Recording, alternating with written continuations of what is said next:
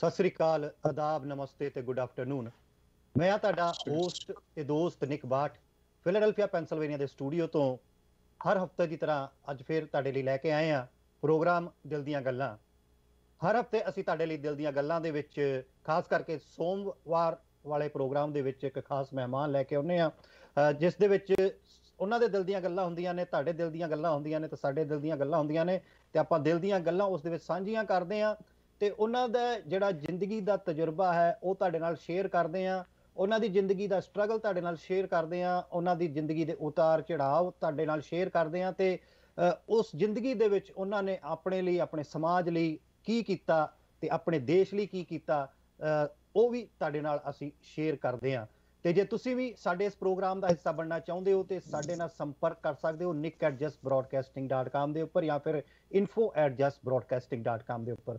ਤੇ ਚੱਲ ਰਹੇ ਲਾਈਵ ਪ੍ਰੋਗਰਾਮ ਦੇ ਵਿੱਚ ਜੇ ਤੁਸੀਂ ਸਾਡੇ ਮਹਿਮਾਨ ਨਾਲ ਆਪਣੀਆਂ ਦਿਲ ਦੀਆਂ ਗੱਲਾਂ ਸਾਂਝੀਆਂ ਕਰਨੀਆਂ ਚਾਹੁੰਦੇ ਹੋ, ਤੇ ਸਾਨੂੰ ਚੱਲ ਰਹੇ ਪ੍ਰੋਗਰਾਮ ਦੇ ਵਿੱਚ ਵੀ ਲਾਈਵ ਕਾਲ ਕਰਕੇ ਸਾਡੇ ਨਾਲ ਆਪਣੀਆਂ ਵਿਚਾਰ ਸ਼ੇਅਰ ਕਰ ਸਕਦੇ ਹੋ।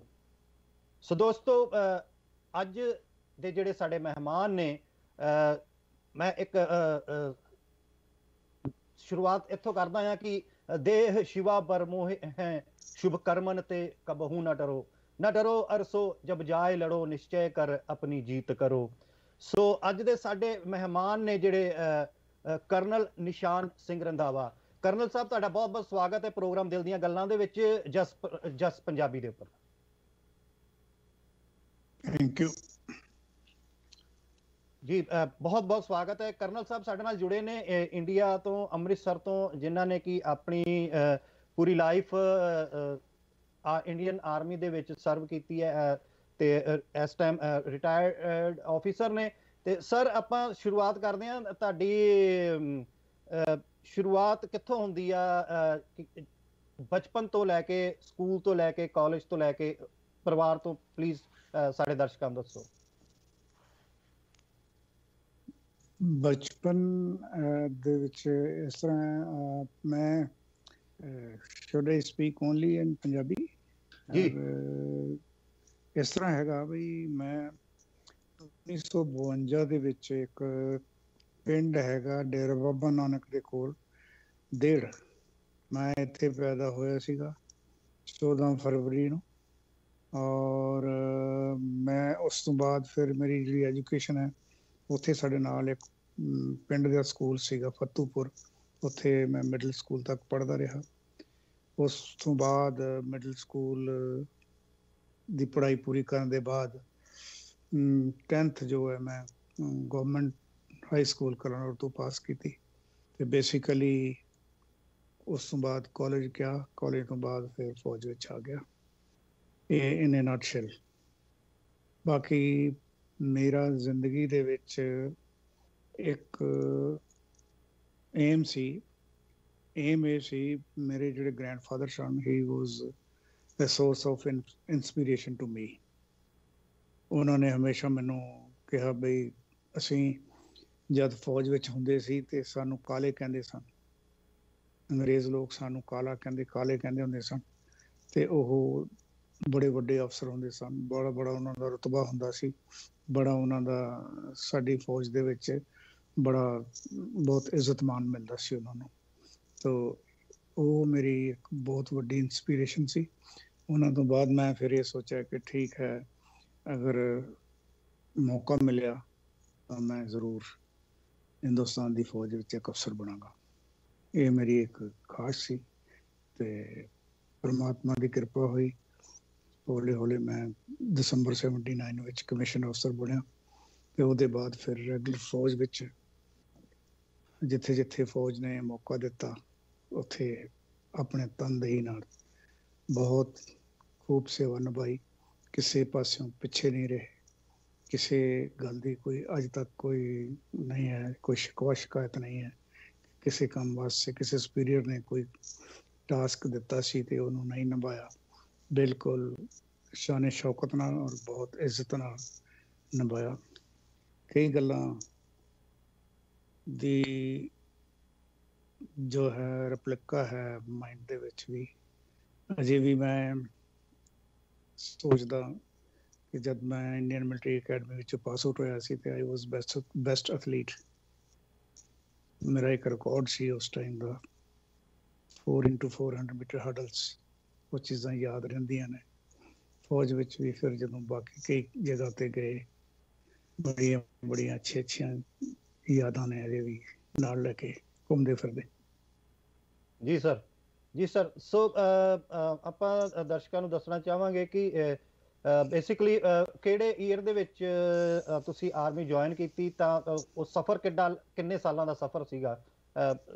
ਸ਼ੁਰੂਆਤ ਤੋਂ ਲੈ ਕੇ ਤਾਂ ਰਿਟਾਇਰਮੈਂਟ ਤੱਕ। ਇਹ ਦਸੰਬਰ 79 ਆਈ ਪਾਸਡ ਆਊਟ ਫਿਰ ਉਸ ਤੋਂ ਬਾਅਦ ਮੇਰੀ ਅਜੇ 4 ਸਾਲ ਸਰਵਿਸ ਬਾਕੀ ਸੀ and I had I had left the regular army and joined the state service ਲਗਭਗ ਮੈਂ 32 ਸਾਲ 31 32 ਸਾਲ ਫੌਜ ਦੀ ਨੌਕਰੀ ਕੀਤੀ ਹੈ। ਉਸ ਤੋਂ ਬਾਅਦ 5-6 ਸਾਲ ਸਿਵਲ ਵਿੱਚ as deputy director Sainik welfare Amritsar ਤੇ ਗੁਰਦਾਸਪੁਰ ਕੀਤੀ ਹੈ। ਜੀ। ਔਰ ਜੀ। ਔਰ ਇਸ ਸਰਸੇ ਦੇ ਵਿੱਚ ਬੜੇ ਉਤਰਾ ਚੜਾ ਦੇਖੇ ਆ ਫੌਜ ਦੇ ਵੀ, ਸਿਵਲ ਦੇ ਵੀ। ਪਰ ਫੌਜ ਦੇ ਨਾਲ ਜਦੋਂ ਸਿਵਲ ਵਿੱਚ ਆ ਕੇ ਬਾਹਰ ਨੌਕਰੀ ਕੀਤੀ ਆ, ਉਹਦੇ ਵਿੱਚ ਬਹੁਤ ਡਿਫਰੈਂਸ ਬਹੁਤ ਚੀਜ਼ਾਂ ਵੱਖਰੀਆਂ ਵੱਖਰੀਆਂ ਦੇਖਣ ਨੂੰ ਮਿਲੀਆਂ। ਜਿਨ੍ਹਾਂ ਦੇ ਵਿੱਚ ਫੌਜ ਵਾਲਾ ਦਸਤੂਰ ਨਹੀਂ ਸੀ। ਤੇ ਇਹ ਚੀਜ਼ਾਂ ਕੁਝ ਫੌਜ ਨਾਲੋਂ ਵੱਖਰੇਵੇਂ ਵਿੱਚ ਕਹਿ ਸਕਦੇ ਹਾਂ। ਜੀ। ਵੱਖਰਾ ਕਿਉਂਕਿ ਜਿੱਥੇ ਤੱਕ ਸਾਡੀ ਸੋਚ ਮਤਲਬ ਕਿ ਨੌਲੇਜ ਦੇ ਹਿਸਾਬ ਨਾਲ ਕਿ ਸਭ ਤੋਂ ਜਿਹੜੀ ਸਟ੍ਰਿਕਟ ਜੌਬ ਜਿਹੜੀ ਮੰਨੀ ਗਈ ਹੈ ਉਹ ਆਰਮੀ ਦੀ ਹੈ। ਜੀ।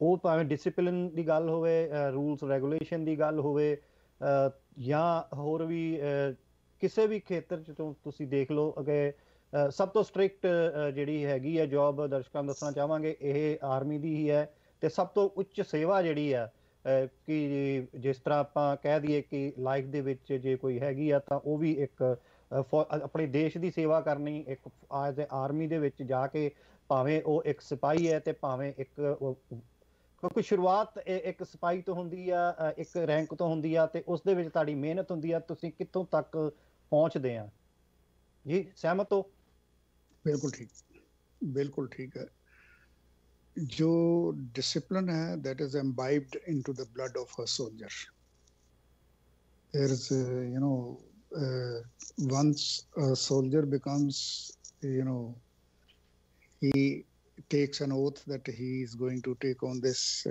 responsibility then automatically this discipline uh, becomes a part of uh, his life. And it's uh, into his blood for anything and for everything. He has Yes, to obey the orders, he has to accomplish the task, he has to live up to the entire satisfaction of the superiors, and he has to, uh, you know, he's always uh, given a, you know, pat at the uh, on his back that yes, you will do well and you will accomplish the task given to you. ਜੀ ਅ, ਜਿਸ ਤਰ੍ਹਾਂ ਆਪਾਂ ਦੇਖਦੇ ਵੀ ਆ ਕਿ ਅ, ਅ, ਭਾਵੇਂ ਅ, ਆਪਾਂ army ਦੇ ਵਿੱਚ ਅ, ਸਮਾਂ ਤੇ ਨਹੀਂ ਕੱਢਿਆ ਪਰ ਅ, ਅ, ਵੱਖਰੇ ਵੱਖਰੇ ਮੌਕੇ ਤੇ ਕਈ ਚੀਜ਼ਾਂ ਦੇ ਵਿੱਚ, ਭਾਵੇਂ ਮੂਵੀਜ਼ ਦੀ ਵਿੱਚ ਦੇਖਣ ਨੂੰ ਮਿਲਦਾ ਆ। ਜਾਂ ਕਈ ਵਾਰ ਸਾਡੀ ਫੈਮਿਲੀ ਚੋਂ ਵੀ ਕਾਫੀ ਲੋਕ ਆਰਮੀ ਦੇ ਵਿੱਚ ਰਹੇ ਨੇ ਉਹਨਾਂ ਦੇ ਜਿੱਦਾਂ ਕਿ ਕਿਉਂਕਿ ਇਹ ਇਹ ਜਿਹੜੀ ਸੇਵਾ ਹੈਗੀ ਆ, ਜਿਹੜੀ ਮੈਂ ਤੇ ਸੇਵਾ ਹੀ ਕਹੂੰਗਾ ਜੌਬ ਵੀ ਹੈਗੀ ਆ ਡਿਊਟੀ ਵੀ ਹੈਗੀ ਆ, ਪਰ ਸਭ ਤੋਂ ਵੱਡੀ ਚੀਜ਼ ਹੈ ਕਿ ਇਹ ਸੇਵਾ ਵੀ ਆ। ਉਸ ਦੇ, ਇਸ ਦੇ ਵਿੱਚ ਹਾਂ ਹਾਂ, ਜੀ ਜੀ ਜਨਾਬ ਤੋਂ ਇਲਾਵਾ ਹੋਰ ਕੁਝ ਨਹੀਂ ਹੈਗਾ, ਜੀ ਕਰਾਂਗੇ ਕਰਾਂਗੇ। ਕਿਉਂਕਿ ਇਹ ਇੱਕ ਐਸੀ ਐਸੀ ਇਹ ਇੱਕ ਡਿਊਟੀ ਹੈਗੀ ਆ ਕਿ ਜਿਸ ਦੇ ਵਿੱਚ ਨਾ ਸ਼ਬਦ ਦਾ ਕੋਈ ਜਗ੍ਹਾ ਨਹੀਂ ਹੈਗੀ। There is no reason why there's no reason why. There's uh, yes yes. ਕੁਛ ਕਹਿਣ ਲੱਗੇ ਸੀ ਤੁਸੀਂ ਜੀ ਮੈਂ ਇਹੋ ਹੀ ਕਹਿ- ਕਹਿਣ ਲੱਗਾ ਸੀਗਾ ਕਿ ਇਸ ਦੇ ਵਿੱਚ ਨੋ ਵਰਡ ਨਹੀਂ ਹੈਗਾ ਵਾ।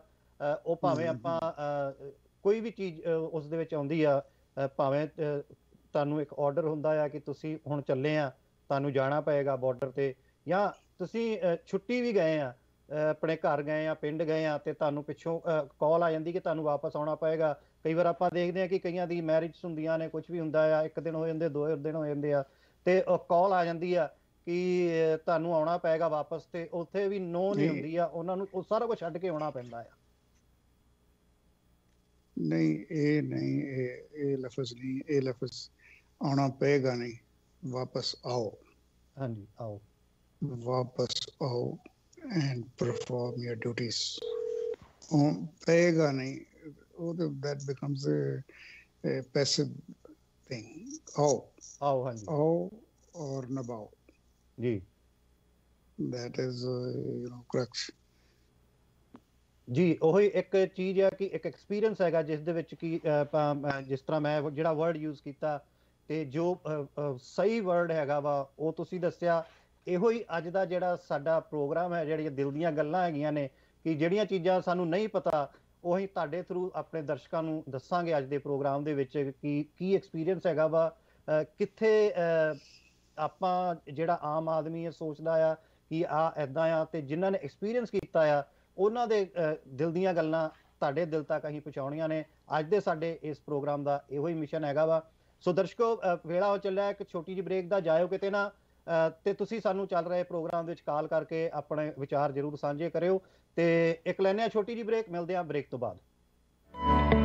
ਸਤਿ ਸ੍ਰੀ ਅਕਾਲ ਦਰਸ਼ਕੋ ਸਵਾਗਤ ਹੈ ਇੱਕ ਵਾਰ ਫੇਰ ਬ੍ਰੇਕ ਤੋਂ ਬਾਅਦ ਪ੍ਰੋਗਰਾਮ ਦਿਲ ਦੀਆਂ ਗੱਲਾਂ ਦੇ ਵਿੱਚ। ਫਿਲਾਡੈਲਫੀਆ ਪੈਨਸਲਵੇਨੀਆ ਦੇ ਸਟੂਡੀਓ ਤੋਂ ਜਸ ਪੰਜਾਬੀ ਦੇ ਮਾਧਿਅਮ ਰਾਹੀਂ ਤੁਹਾਡੇ ਨਾਲ ਅਸੀਂ ਅੱਜ ਜੁੜੇ ਆ ਤੇ ਤੁਸੀਂ ਵੀ ਜੇ ਸਾਡੇ ਇਸ ਪ੍ਰੋਗਰਾਮ ਦਾ ਜਾਂ ਹੋਰ ਜਸ ਪਰਿਵਾਰ ਦਾ ਹਿੱਸਾ ਬਣਨਾ ਚਾਹੁੰਦੇ ਆ, ਹੋਰ ਵੀ ਕਿਸੇ ਪ੍ਰੋਗਰਾਮ ਦੇ ਵਿੱਚ ਜੇ ਤੁਸੀਂ ਹਿੱਸਾ ਲੈਣਾ ਚਾਹੁੰਦੇ ਹੋ, ਤੁਹਾਡਾ ਕੋਈ ਵੀ ਬਿਜ਼ਨਸ ਹੈਗਾ ਵਾ, ਤੁਹਾਡਾ ਕੋਈ ਵੀ ਇਵੈਂਟ ਹੈਗਾ ਵਾ, ਤੁਸੀਂ ਪੂਰੀ ਦੁਨੀਆ ਤੱਕ ਪ੍ਰਮੋਟ ਕਰਨਾ ਚਾਹੁੰਦੇ ਹੋ, ਤਾਂ ਜਰੂਰ ਸਾਡੇ ਨਾਲ ਸੰਪਰਕ ਕਰੋ nick@justbroadcasting.com ਦੇ ਉੱਪਰ ਜਾਂ ਫਿਰ info@justbroadcasting.com ਦੇ ਉੱਪਰ। ਤੇ ਚੱਲ ਰਹੇ ਲਾਈਵ ਪ੍ਰੋਗਰਾਮ ਦੇ ਵਿੱਚ ਜੇ ਤੁਸੀਂ ਸਾਡੇ ਨਾਲ ਗੱਲਬਾਤ ਕਰਨਾ ਚਾਹੁੰਦੇ ਹੋ, ਆਪਣੇ ਦਿਲ ਦੀਆਂ ਗੱਲਾਂ ਸਾਡੇ ਨਾਲ ਜਾਂ ਸਾਡੇ ਅੱਜ ਦੇ ਮਹਿਮਾਨ ਦੇ ਨਾਲ ਤੁਸੀਂ ਸਾਂਝੀਆਂ ਕਰਨਾ ਚਾਹੁੰਦੇ ਹੋ, ਤੇ ਸਾਨੂੰ ਜਰੂਰ ਕਾਲ ਕਰੋ ਤੇ ਸਾਡੇ ਨਾਲ ਜੁੜੋ। ਤੇ ਦਰਸ਼ਕੋ ਜਿਸ ਤਰ੍ਹਾਂ ਗੱਲਬਾਤ ਚੱਲ ਰਹੀ ਸੀਗੀ, ਅੱਜ ਸਾਡੇ ਨਾਲ ਸਾਡੇ ਜਿਹੜੇ ਮਹਿਮਾਨ ਨੇ ਇੰਡੀਅਨ ਆਰਮੀ ਚੋਂ ਰਿਟਾਇਰਡ ਕਰਨਲ ਸਰਦਾਰ ਨਿਸ਼ਾਨ ਸਿੰਘ ਰੰਧਾਵਾ ਸਾਹਿਬ ਸਾਡੇ ਨਾਲ ਜੁੜੇ ਨੇ, ਤੇ ਉਸ ਦੇ ਵਿੱਚ ਉਹਨਾਂ ਦਾ ਲਾਈਫ ਐਕਸਪੀਰੀਅੰਸ ਉਹਨਾਂ ਦੀ ਜਿਹੜੀ ਦੇਸ਼ ਦੀ ਸੇਵਾ, ਉਸ ਦੇ ਬਾਰੇ ਗੱਲਬਾਤ ਚੱਲ ਰਹੀ ਹੈ। ਬ੍ਰੇਕ ਤੋਂ ਬਾਅਦ ਸਵਾਗਤ ਹੈ ਜੀ ਬਹੁਤ ਬਹੁਤ ਕਰਨਲ ਸਾਹਿਬ ਤੁਹਾਡਾ। ਥੈਂਕ ਯੂ ਸਰ, ਆਪਾਂ ਗੱਲ ਕਰ ਰਹੇ ਸੀਗੇ ਕਿ ਜਿੱਥੇ ਮੈਂ ਗੱਲ ਕੀਤੀ ਕਿ ਆਣਾ ਪਵੇਗਾ ਤੇ ਉਸ ਚੀਜ਼ ਨੂੰ ਆਪਾਂ ਸਪਸ਼ਟ ਕੀਤਾ ਕਿ ਆਣਾ ਨਹੀਂ ਪਵੇਗਾ, ਆਓ ਤੇ ਆਪਣਾ ਫਰਜ਼ ਨਿਭਾਓ। ਤੇ ਇਸ ਤਰ੍ਹਾਂ ਦਾ ਤੁਹਾਨੂੰ ਵੀ ਕੋਈ ਐਕਸਪੀਰੀਅੰਸ ਕਦੀ ਆਇਆ ਜਿੱਥੇ ਤੁਸੀਂ 32 ਇਅਰ ਦੀ ਸਰਵਿਸ ਕੀਤੀ ਆ, ਉਸ ਦੇ ਵਿੱਚ ਜ਼ਰੂਰ ਐਕਸਪੀਰੀਅੰਸ ਕੀਤਾ ਹੈਗਾ। ਉਹ ਇੱਕ ਅੱਧਾ ਐਕਸਪੀਰੀਅੰਸ ਜ਼ਰੂਰ ਸ਼ੇਅਰ ਕਰੋ ਸਾਡੇ ਦਰਸ਼ਕਾਂ ਦੇ ਨਾਲ। ਮੈਨੂੰ ਯਾਦ ਹੈ, ਮੈਂ ਚੰਡੀਗੜ੍ਹ ਸੀ ਛੁੱਟੀ ਤੇ। ਸਟੱਡੀ ਲੀਵ ਤੇ 2 ਸਾਲ ਦੀ ਸਟੱਡੀ ਲੀਵ ਤੇ ਤੇ ਸਾਡੀ ਇੰਡੀਅਨ ਆਰਮੀ ਸਾਰੀ ਮੂਵ ਕਰ ਗਈ ਸੀ ਬਾਰਡਰਸ ਤੇ ਉਹ ਆਪਰੇਸ਼ਨ ਦਾ ਨਾਮ ਸੀ brass tacks operation brass tacks to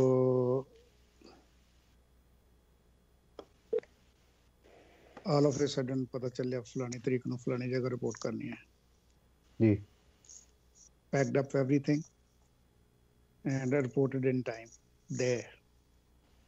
So uh, we take pride in that. You know, it's a. ਮੈਂ ਮੈਨੂੰ ਜੋਧਪੁਰ ਜਾਣ ਵਾਸਤੇ ਕਿਹਾ ਸੀ ਗਿਆ ਸੀ ਚੰਡੀਗੜ੍ਹ ਤੋਂ ਜੀ ਤੇ ਇੱਕਦਮ ਉਸੇ ਤਰ੍ਹਾਂ ਹੀ ਸਮਾਨ ਆਪਣਾ ਦੋ ਆਪਣਾ ਅਟੈਚੀ ਇੱਕ ਬਾਕਸ ਇੱਕ ਬੈਡਿੰਗ ਸ਼ਾਮ ਨੂੰ ਟ੍ਰੇਨ ਔਰ ਨੈਕਸਟ ਡੇ ਆਈ ਵਾਸ ਇਨ ਜੋਧਪੁਰ ਜੀ ਉਹ ਅਹ, ਉਸ ਦੇ ਵਿੱਚ ਉਹ- ਉਸ ਟਾਈਮ ਤੁਸੀਂ ਕਿਹੜੇ ਰੈਂਕ ਤੇ ਸੀਗੇ at that time I was uh, uh, major. ਜੀ That time I was major.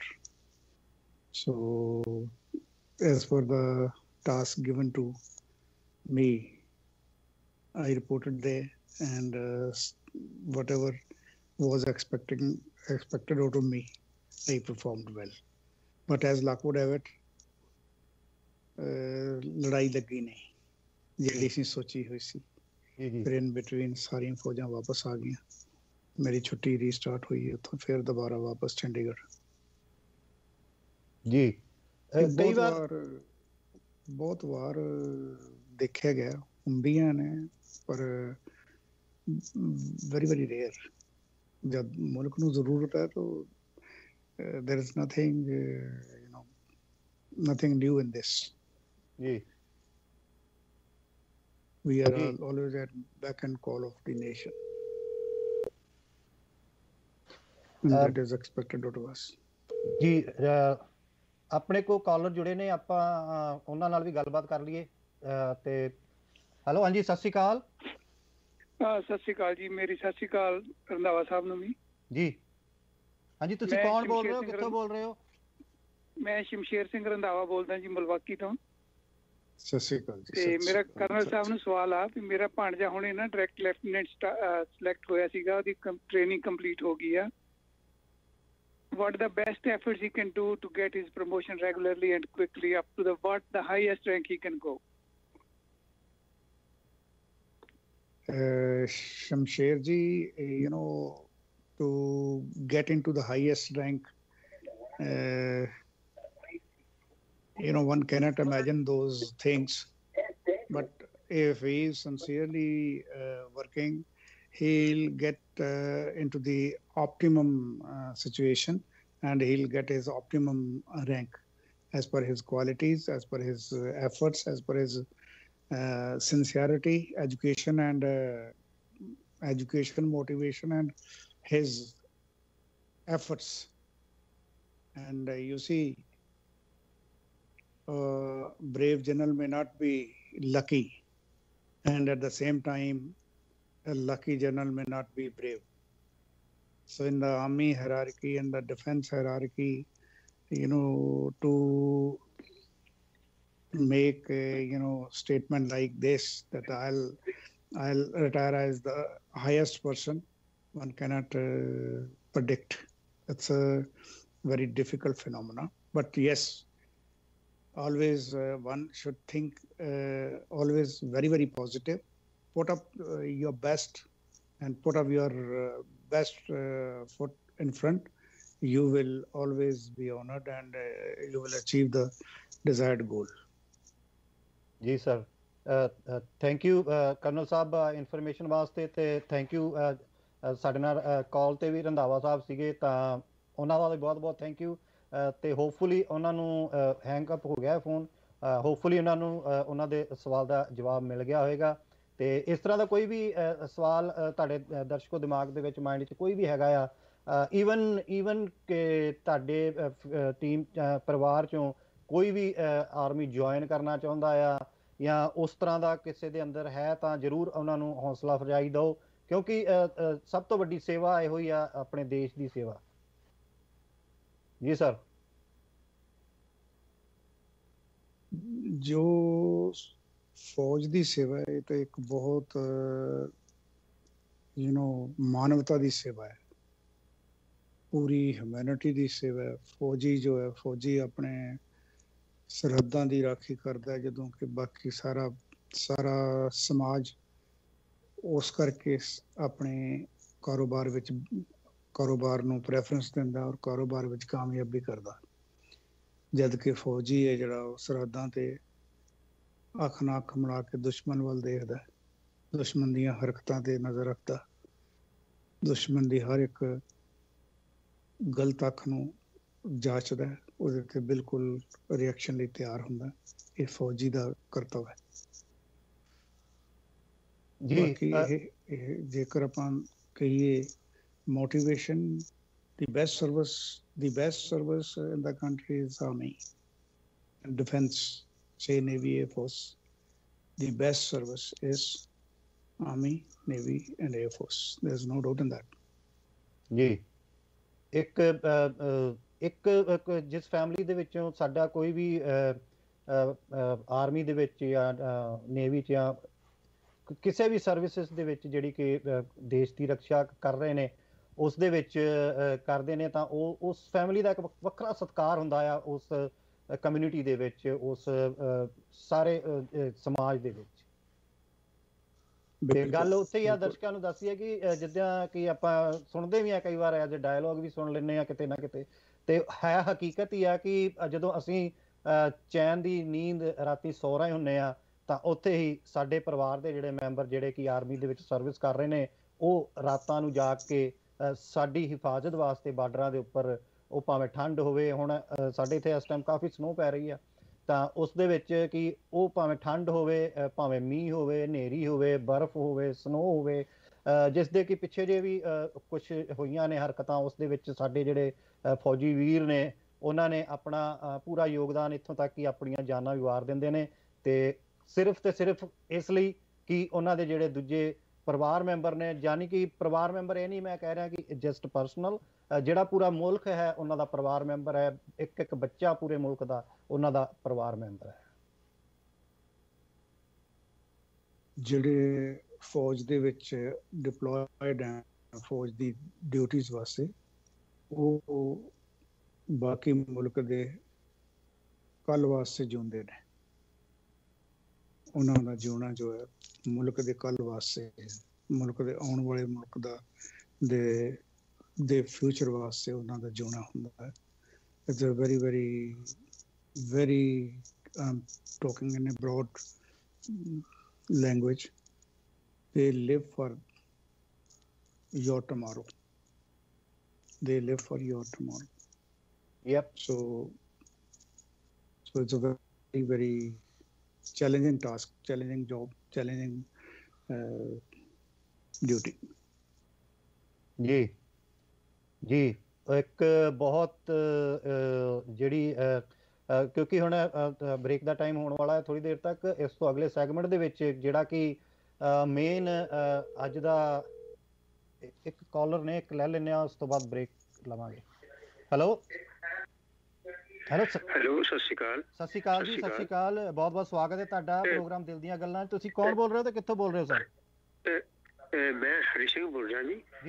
ਮੈਂ ਇੱਥੇ ਮੈਂ ਕੈਨੇਡਾ ਤੋਂ ਬੋਲਦਾ। ਕੈਨੇਡਾ ਤੋਂ ਜੀ। ਜਿਹੜਾ ਜੀ ਤੁਸੀਂ ਸਰ ਜਿਹੜਾ ਤੁਸੀਂ ਪ੍ਰੋਗਰਾਮ ਦੇ ਰਹੇ ਨੇ ਬਹੁਤ ਵਧੀਆ ਪ੍ਰੋਗਰਾਮ ਹੈ। ਮੇਰੇ ਵਿੱਚ ਇਹ ਗੱਲ ਕਹਿਣੀ ਚਾਹੁੰਦਾ। ਆਪਣੇ ਕਰਨਲ ਰੰਧਾਵਾ ਸਾਹਿਬ ਨੂੰ ਤੇ ਬਾੜ ਸਾਹਿਬ ਨੂੰ। ਇਹ ਪਤਾ ਕਿਸ ਗੱਲ ਦੀ ਘਾਟ ਆ ਗਈ ਹੈ? ਸਭ ਤੋਂ ਪਹਿਲਾਂ ਤਾਂ ਜਿਹੜੇ ਮੈਂ ਪੜ੍ਹਦਾ ਸੀ ਮੇਰੀ 74 ਸਾਲ ਉਮਰ ਹੈ। ਮੈਂ ਇਹ ਹੁੰਦਾ ਸੀ ਪਹਿਲਾਂ। ਜੀ। ਤੇ ਇਹ ਆ ਗਈ ਹੈ ਸਰ ਸਕੂਲਾਂ ਵਿੱਚ ਐਨਸੀਸੀ ਨਹੀਂ ਹੁੰਦੀ ਤੇ ਕਾਲਜਾਂ ਵਿੱਚ ਐਨਸੀਸੀ ਨਹੀਂ ਹੁੰਦੀ। ਤੇ ਸਾਡੇ ਵੇਲੇ ਜਿਹੜੇ 1963 ਵਿੱਚ ਕਾਲਜ ਗਿਆ ਸੀਗਾ ਉਹ ਐਨਸੀਸੀ ਕੰਪਲਸਰੀ ਹੁੰਦੀ ਸੀ ਸਾਡੇ ਸਾਰੇ ਵਾਸਤੇ। ਉਹ ਜਿਹੜੀ ਨਾ ਇਹ ਜਿਹੜੀ ਨਾ ਆਪਣੀ ਇੰਟਰਸਟ ਸੀਗਾ ਤੇ ਸਾਨੂੰ ਕਾਲਜ ਔਰ ਸਕੂਲ ਚ ਸਕੂਲ ਚ ਭਰ ਜਾਂਦਾ ਸੀ। ਤੇ ਤੇ ਮੈਂ ਦੇਖਿਆ ਤੇ ਜਿਹੜਾ ਰਸ਼ੀਆ ਕੰਟਰੀ ਆ ਉਹ ਕਹਿੰਦੇ ਵੀ ਹਰ ਬੰਦੇ ਨੂੰ ਡਿਫੈਂਸ ਵਿੱਚ ਨੌਕਰੀ ਕਰਨੀ ਚਾਹੀਦੀ ਹੈ ਉਹ ਤੋਂ ਬਾਅਦ ਜਿੱਥੇ ਮਰਜ਼ੀ ਕਰੇ ਸੋ ਦੈਟ ਉਹਨੂੰ ਡਿਸਪਲਿਨ ਆ ਜਾਵੇ ਮੈਂ ਨਹੀਂ ਗੱਲ ਕਹਣੀ ਚਾਹੁੰਦਾ ਤੇ ਮੈਂ ਬਹੁਤ ਤੁਹਾਡਾ ਸ਼ੁਕਰ ਕਰਦਾ ਤੁਸੀਂ ਇਹ ਪ੍ਰੋਗਰਾਮ ਦੇ ਰਹੇ ਹੋ। ਬਹੁਤ ਵਧੀਆ ਪ੍ਰੋਗਰਾਮ ਹੈ ਜੀ ਥੈਂਕ ਮੈਂ ਯੂ ਬਹੁਤ ਸ਼ੁਕ- ਸ਼ੁਕਰ ਕਰਦਾ ਮੈਂ Hari Singh ji thank you sir thank ਸਤਿ ਯੂ ਸ਼੍ਰੀ ਥੈਂਕ ਅਕਾਲ। ਯੂ ਫॉर ਸਤਿ ਸ਼੍ਰੀ ਅਕਾਲ ਸਰ ਹਰੀ ਸਿੰਘ ਨੇ ਬਹੁਤ ਅੱਛਾ ਅਹ, ਬਹੁਤ ਵਧੀਆ ਗੱਲ ਕੀਤੀ ਹੈ ਐਨਸੀਸੀ ਜਿਹੜੀ ਹੈ ਸਾਡੇ ਜ਼ਿੰਦਗੀ ਦਾ ਇੱਕ ਬੇਸਿਕ ਇਸ਼ੂ ਹੈ ਜਿਹੜਾ it should be addressed very positively ਸਾਰੇ ਬੱਚੇ ਜਿਹੜੇ ਨੇ ਉਹਨਾਂ ਨੂੰ ਜ਼ਰੂਰ ਐਨਸੀਸੀ ਵਿੱਚ ਐਨਸੀਸੀ ਲੈਣੀ ਚਾਹੀਦੀ ਹੈ, ਜਿਹਦੇ ਨਾਲ ਉਹਨਾਂ ਦਾ ਜਿਹੜੇ ਸਪੈਸ਼ਲੀ ਜੋ ਡਿਫੈਂਸ ਵਿੱਚ ਜਾਣ ਵਾਲੇ ਨੇ ਜਾਂ ਡਿਫੈਂਸ ਵਿੱਚ ਜਾਣ ਵਾਸਤੇ ਚਾਹਵਾਨ ਨੇ, ਉਹਨਾਂ ਨੂੰ ਐਨਸੀਸੀ ਜੁਆਇਨ ਜ਼ਰੂਰ ਕਰਨੀ ਚਾਹੀਦੀ ਹੈ। ਸਕੂਲਾਂ, ਕਾਲਜਾਂ ਵਿੱਚ ਉਹਨਾਂ ਨੇ ਆਪਣੇ ਟਾਈਮ ਦੀ ਜੋ ਗੱਲ ਕਹੀ ਹੈ, ਬਿਲਕੁਲ ਠੀਕ ਕਹੀ ਹੈ। ਜੀ ਸਰ ਕਰਨਲ ਸਾਹਿਬ ਵੇਲਾ ਬ੍ਰੇਕ ਦਾ ਹੋ ਚੱਲਿਆ ਵਾ, ਆਪਾਂ ਇਸੇ ਗੱਲ ਨੂੰ ਇਸੇ ਤਰ੍ਹਾਂ ਅੱਗੇ ਕੰਟੀਨਿਊ ਰੱਖਾਂਗੇ ਤੇ ਹੋਰ ਵੀ ਜਿਹੜੇ ਅੱਜ ਕੱਲ ਦੇ ਜਿਹੜੇ ਕਿ ਬੇਸਿਕ ਮੁੱਦੇ ਨੇ ਜਿੱਥੇ ਕਿ ਜਿੱਥੇ ਕਿ ਪੰਜਾਬੀਆਂ ਨੇ ਮੁਲਕ ਵਾਸਤੇ ਜਾਨਾਂ ਵਾਰੀਆਂ ਨੇ, ਤਾਂ ਅੱਜ ਕਈਆਂ ਚੀਜ਼ਾਂ ਦਾ ਸਾਹਮਣਾ ਕਰਨਾ ਪੈ ਰਿਹਾ ਵਾ। ਉਸ ਦੇ ਉੱਪਰ ਵੀ ਆਪਾਂ ਗੱਲਬਾਤ ਕਰਾਂਗੇ ਦਰਸ਼ਕੋ। ਇਸੇ ਤਰ੍ਹਾਂ ਸਾਡੇ ਨਾਲ ਜੁੜੇ ਰਹੋ। ਵੇਲਾ ਹੋ ਚੱਲਿਆ ਬ੍ਰੇਕ ਦਾ। ਮਿਲਦੇ ਹਾਂ ਬ੍ਰੇਕ ਤੋਂ ਬਾਅਦ। ਸਤਿ ਸ੍ਰੀ ਅਕਾਲ ਦਰਸ਼ਕੋ, ਸਵਾਗਤ ਹੈ ਇੱਕ ਵਾਰ ਫੇਰ ਬ੍ਰੇਕ ਤੋਂ ਬਾਅਦ ਪ੍ਰੋਗਰਾਮ ਦਿਲ ਦੀਆਂ ਗੱਲਾਂ ਦੇ ਵਿੱਚ। ਫਿਲਾਡੈਲਫੀਆ ਪੈਂਸਿਲਵੇਨੀਆ ਦੇ ਸਟੂਡੀਓ ਤੋਂ ਅਸੀਂ ਤੁਹਾਡੇ ਨਾਲ ਜੁੜੇ ਹਾਂ ਜਸ ਪੰਜਾਬੀ ਦੇ ਮਾਧਿਅਮ ਰਾਹੀਂ। ਤੇ ਜੇ ਤੁਸੀਂ ਵੀ ਸਾਡੇ ਇਸ ਪ੍ਰੋਗਰਾਮ ਦਾ ਜਾਂ ਹੋਰ ਵੀ ਕਿਸੇ ਪ੍ਰੋਗਰਾਮ ਦਾ ਜਾਂ ਜਸ ਪਰਿਵਾਰ ਦਾ ਕਿਸੇ ਵੀ ਪ੍ਰੋਗਰਾਮ ਦਾ ਹਿੱਸਾ ਬਣਨਾ ਚਾਹੁੰਦੇ ਹੋ ਤੇ ਸਾਡੇ ਨਾਲ ਸੰਪਰਕ ਕਰ ਸਕਦੇ ਹੋ nick@justbroadcasting.com ਦੇ ਉੱਪਰ ਜਾਂ ਫਿਰ info@justbroadcasting.com ਦੇ ਉੱਪਰ। ਤੇ ਚੱਲ ਰਹੇ ਅੱਜ ਦੇ ਲਾਈਵ ਪ੍ਰੋਗਰਾਮ ਦੇ ਵਿੱਚ ਜੇ ਤੁਸੀਂ ਆਪਣਾ ਕੋਈ ਵੀ ਵਿਚਾਰ ਰੱਖਣਾ ਚਾਹੁੰਦੇ ਹੋ ਤੇ ਜਰੂਰ ਸਾਨੂੰ ਕਾਲ ਕਰੋ ਥੱਲੇ ਲਿਖੇ ਨੰਬਰ ਦੇ ਉੱਪਰ। ਤੇ ਇਹ ਜਿਹੜਾ ਸਾਡਾ ਪ੍ਰੋਗਰਾਮ ਹੈਗਾ ਜਾਂ ਜਸ ਪਰਿਵਾਰ ਦੇ ਕੋਈ ਵੀ ਪ੍ਰੋਗਰਾਮ ਅਸੀਂ ਦਿਖਾਉਨੇ ਆ ਦਰਸ਼ਕੋ ਤੁਹਾਨੂੰ ਦੱਸ ਦੇਣਾ ਚਾਹੀਏ ਕਿ ਇਹ ਪੂਰੀ ਦੁਨੀਆ ਦੇ ਵਿੱਚ ਵੱਖਰੇ ਵੱਖਰੇ ਮੁਲਕਾਂ ਦੇ ਵਿੱਚ ਵੱਖਰੇ ਵੱਖਰੇ ਸਮੇਂ ਦੇ ਉੱਪਰ ਦਿਖਾਏ ਜਾਂਦੇ ਨੇ। ਉਹ ਭਾਵੇਂ ਤੁਸੀਂ America, Canada Australia New Zealand UK UAE India Pakistan 올 over world broadcast ਹੁੰਦੇ ਨੇ ਜਿਹੜੇ ਅਸੀਂ ਸਾਡੇ ਪ੍ਰੋਗਰਾਮ ਹੁੰਦੇ ਨੇ। ਸੋ ਤੁਹਾਡਾ ਕੋਈ ਵੀ ਇਵੈਂਟ ਹੈਗਾ ਵਾ, ਤੁਹਾਡਾ ਕੋਈ ਵੀ ਐਕਸਪੀਰੀਅੰਸ ਹੈਗਾ, ਤੁਹਾਡੀਆਂ ਕੋਈ ਵੀ ਸਰਵਿਸਿਜ਼ ਨੇ ਤੁਹਾਡਾ ਆਪਣਾ ਐਕਸਪੀਰੀਅੰਸ ਵੀ ਤੁਸੀਂ ਪੂਰੀ ਦੁਨੀਆ ਤੱਕ ਜੇ ਜਾਣੂ ਕਰਾਉਣਾ ਚਾਹੁੰਦੇ ਹੋ ਤੇ ਸਾਡੇ ਨਾਲ ਜਰੂਰ ਸੰਪਰਕ ਕਰੋ। ਸੋ ਕਰਨਲ ਸਾਹਿਬ, ਸਵਾਗਤ ਹੈ ਇੱਕ ਵਾਰ ਫਿਰ ਤੁਹਾਡਾ ਬ੍ਰੇਕ ਤੋਂ ਬਾਅਦ। ਸਰ ਆਪਾਂ ਗੱਲ ਕਰ ਰਹੇ ਸੀਗੇ ਜਿਸ ਤਰ੍ਹਾਂ ਆਪਣੇ ਕਾਲਰ ਆਏ ਸੀ ਕਿ ਕੈਨੇਡਾ ਤੋਂ ਕਾਲ ਆਈ ਸੀਗੀ ਕਿ ਐਨਸੀਸੀ ਬਾਰੇ ਗੱਲ ਕਰ ਰਹੇ ਸੀਗੇ। ਨੈਸ਼ਨਲ ਕ੍ਰੈਡਿਟ ਕੋਰਸ ਹੈ, ਇਸ ਦਾ full experience from national credit course credit course ਜੀ। ਸੋ ਇੱਕ ਕਾਲਰ ਨੇ ਉਹ ਲੈ ਲੈਣੇ ਫਿਰ ਆਪਾਂ ਜਿਹੜਾ ਅਗਲਾ ਵਿਸ਼ਾ ਹੈਗਾ ਵਾ ਉਸ ਤੋਂ ਅੱਗੇ ਸ਼ੁਰੂ ਕਰਦੇ ਸਰ। ਹੈਲੋ ਹਾਂਜੀ ਸਤਿ ਸ਼੍ਰੀ ਅਕਾਲ ਜੀ। ਸਤਿ ਸ਼੍ਰੀ ਅਕਾਲ ਜੀ। ਹਾਂਜੀ ਸਵਾਗਤ ਹੈ ਸਰ। ਹਾਂਜੀ ਮੈਂ ਅਗੇਨ ਸ਼ਮਸ਼ੇਰ ਸਿੰਘ ਰੰਧਾਵਾ ਬੋਲਦਾ। ਹਾਂਜੀ ਸਰ। ਹਾਂਜੀ। ਮੈਂ ਕਰਨਲ ਸਾਹਿਬ ਨੂੰ ਇੱਕ ਗੱਲ ਪੁੱਛਣੀ ਚਾਹਣਾ ਜੀ। ਜਿਸ ਤਰ੍ਹਾਂ 84 ਦੇ ਵਿੱਚ ਆਰਮੀ ਦਾ ਅਟੈਕ ਹੋਇਆ ਸੀਗਾ ਹਰਮੰਦਰ ਸਾਹਿਬ ਤੇ। ਜੀ। ਹੁਣ ਵੀ ਕਈ ਵਾਰੀ ਮੋਦੀ ਸਰਕਾਰ, if it does it, is it in the hands of army chief or in the hands of defense minister?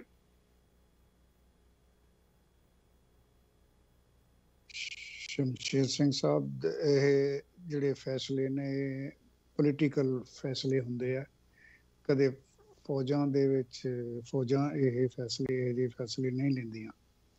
ਇਹ ਫੈਸਲਾ ਜਿਹੜਾ ਗੋਲਡਨ ਟੈਂਪਲ ਤੇ ਇੱਕ ਬਲੂ ਸਟਾਰ ਸੀ ਇਹ ਵੀ ਇੱਕ ਪੋਲੀਟੀਕਲ ਡਿਸੀਜਨ ਸੀਗਾ ਇਹ ਫੌਜ ਨੇ ਕੋਈ ਇਹੋ ਜਿਹਾ ਫੈਸਲਾ ਨਹੀਂ ਲਿਆ when political masters they have made up their mind to go for a particular task then you know army is a subordinate service to the uh, political masters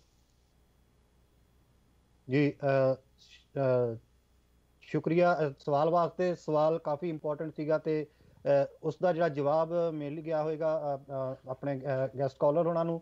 ਤੇ ਉਸ ਦੇ ਉੱਪਰ ਹੀ ਆਪਾਂ ਜਿਹੜੀ ਅਗਲੀ ਗੱਲਬਾਤ ਆਪਾਂ ਉੱਥੇ ਹੀ ਕਰਨੀ ਸੀਗੀ ਕਿ ਜਿੱਥੇ ਸਾਡਾ ਪੰਜਾਬੀ ਨੌਜਵਾਨ ਉਦਾਂ ਤੇ ਸਾਰੇ ਮੁਲਕ ਦੇ ਵਿੱਚੋਂ ਹੀ ਆਰਮੀ ਦੇ ਵਿੱਚ ਜਾਂਦੇ ਨੇ, ਪਰ ਸਭ ਤੋਂ ਜ਼ਿਆਦਾ ਜਿੱਥੇ ਤਾਦਾਦ ਆਉਂਦੀ ਹੈ ਪੰਜਾਬ ਦੀ, ਦੇ ਨੌਜਵਾਨਾਂ ਦੀ ਜਾਂ ਪੰਜਾਬੀਆਂ ਦੀ ਹੁੰਦੀ ਆ ਈਵਨ ਆਪਾਂ ਇੱਥੇ ਸਰ ਆਪਾਂ ਇੱਥੇ ਇਹਨਾਂ ਮੁਲਕਾਂ ਦੇ ਵਿੱਚ ਵੀ ਜੇ ਆਪਾਂ ਦੇਖੀਏ ਤੇ ਜਿਹੜੀ ਸਾਡੀ ਮੈਚਿਓਰਿਟੀ ਆ ਜਾਂ ਜਿਹੜੀ ਕਿ ਐਨ ਆਰ ਆਈ ਬੱਚੇ ਨੇ ਜਿਹੜੇ ਕਿ ਇੰਡੀਆ ਤੋਂ, ਉਸ ਦੇ ਵਿੱਚ ਵੀ ਜੇ ਤੁਸੀਂ ਆਰਮੀ ਦੇ ਵਿੱਚ ਦੇਖੋਗੇ ਤੇ ਸਾਡੇ ਸਿੰਘ ਨੌਜਵਾਨ ਜਿਹੜੇ ਨੇ ਪੰਜਾਬ ਦੇ ਨੌਜਵਾਨ ਸਭ ਤੋਂ ਜ਼ਿਆਦਾ ਤੁਹਾਨੂੰ ਦਿਖਣਗੇ ਭਾਵੇਂ ਤੁਸੀਂ ਕੈਨੇਡਾ ਦੀ ਆਰਮੀ ਦੇਖ ਲਓ ਜਾਂ ਯੂਐਸ ਦੀ ਆਰਮੀ ਦੇਖ ਲਓ, ਸਾਡੇ ਇੱਥੋਂ ਲੋਕਲ ਕਮਿਊਨਿਟੀ ਦੇ ਵਿੱਚੋਂ ਜਿੱਥੇ ਅਸੀਂ ਇੱਕ ਸ਼ਹਿਰ ਦੇ ਵਿੱਚ ਰਹਿ ਰਹੇ ਹਾਂ ਆਈ ਨੋ ਮੋਰ ਦੈਨ 10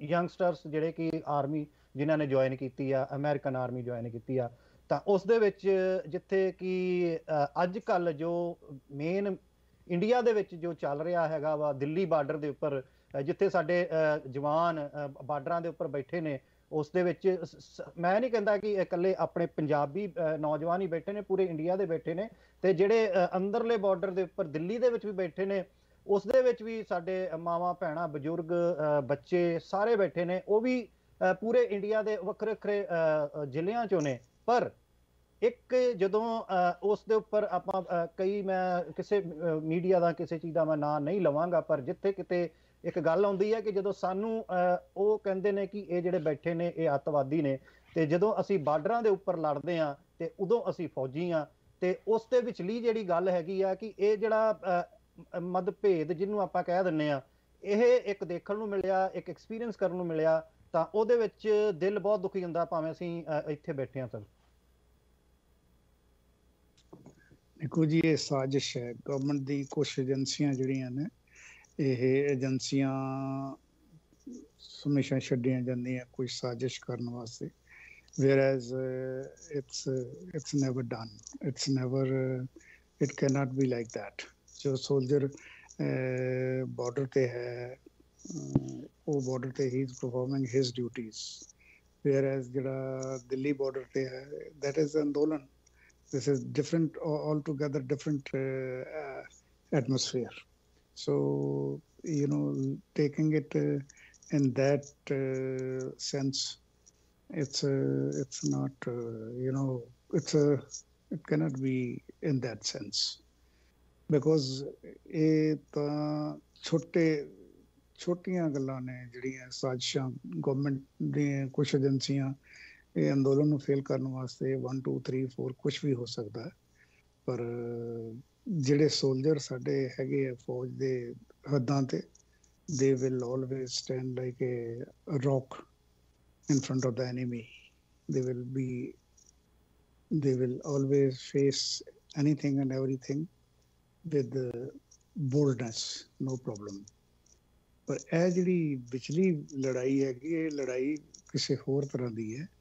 ਇਹ ਬਿਲਕੁਲ ਸ਼ਾਂਤੀ ਦੀ ਲੜਾਈ ਹੈ। ਦਿਲ- ਦਿਲ ਨੂੰ ਠੰਡਾ ਰੱਖ ਕੇ ਤੇ ਪੋਲੀਟੀਕਲ ਲੋਕਾਂ ਦੇ ਮੂਵ ਨੂੰ ਧਿਆਨ ਵਿੱਚ ਲਿਆ ਕੇ ਅੱਛੀ ਤਰ੍ਹਾਂ ਉਹਨਾਂ ਨੂੰ ਜਾਂਚਦੇ ਹੋਏ ਲੜਨ ਵਾਲੀ ਹੈ। ਇਹ ਲੜਾਈ, ਉਹ ਲੜਾਈ ਨਹੀਂ ਹੈ ਜਿਹੜੀ ਅਸੀਂ ਸੋਚਦੇ ਹਾਂ ਵੀ ਸਾਡੇ ਬੱਚੇ ਉਹ ਵੀ ਨੇ ਤੇ ਅਸੀਂ ਵੀ ਵਿੱਚ if we mix up these two issues that is not a that will not be a correct thing. ਜੀ।